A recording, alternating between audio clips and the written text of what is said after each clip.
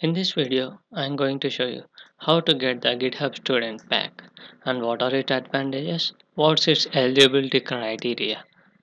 So let's get started. Go to Google search and type GitHub Student Pack.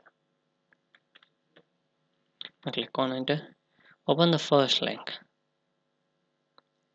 This is the page which where we can get access to GitHub Student Pack so here you can see it provides a lot of paid softwares for students free.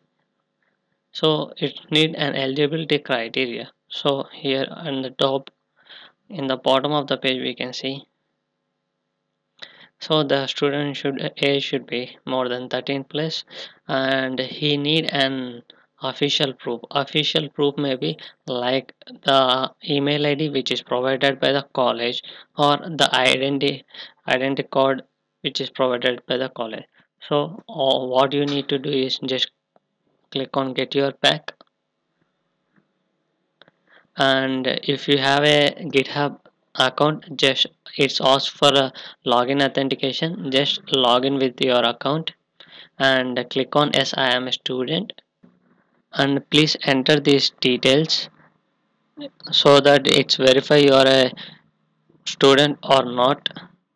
So uh, if your email is not verified it says that uh, please verify. So click on here and verify your account. If it's not verified else you can no need to verify.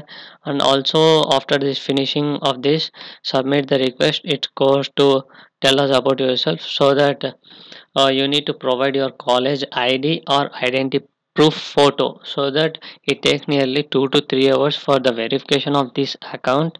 After successfully verification you get an email that you are eligible for github educational student pack so that after getting what you you have advantages is just click on student pack so that here you can see this Amazon Web Services Education where you can get nearly 75 to 150 dollars so that you can implement your live projects on Amazon Web Services and also Bitnami where your cloud resources are free and normally it takes 49 dollars but uh, since you are a github student partner after the verification you get all these softwares fully free but not for the lifetime but only certain period of duration.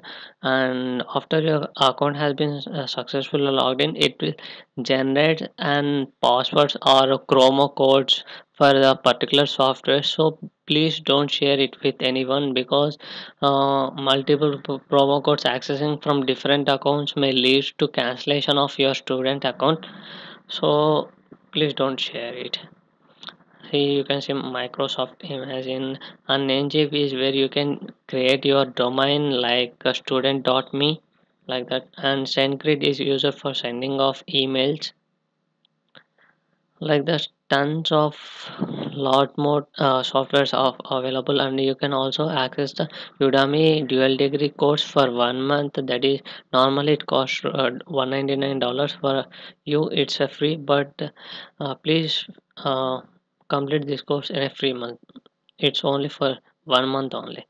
So this is a lot of software provided by github so that you have a you no need to pay any amount for the softwares. Thanks for watching this video